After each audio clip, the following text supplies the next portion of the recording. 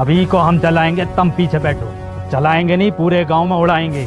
कबूतर नाच उड़ा दोगे? कबूतर? कुट्टू ही मौका है ये जानवर को यहीं ख़त्म करने को। और कुछ दिनों बाद सरपंच की निगाहों में तेरा रोला होगा और सरपंच तुझसे बहुत खुश होगा।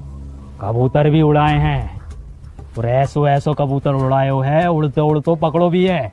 एक तो ऐसा उड़ रहा था यू और यू उड़ता हुआ लिया था। अब गुट्टू कहाँ घुसेड़ दियो ये घुसरिए का, हमारा तो नसीब ही खराब है। चल।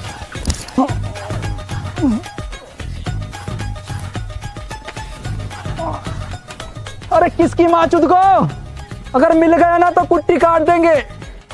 पुरुषोत्तम।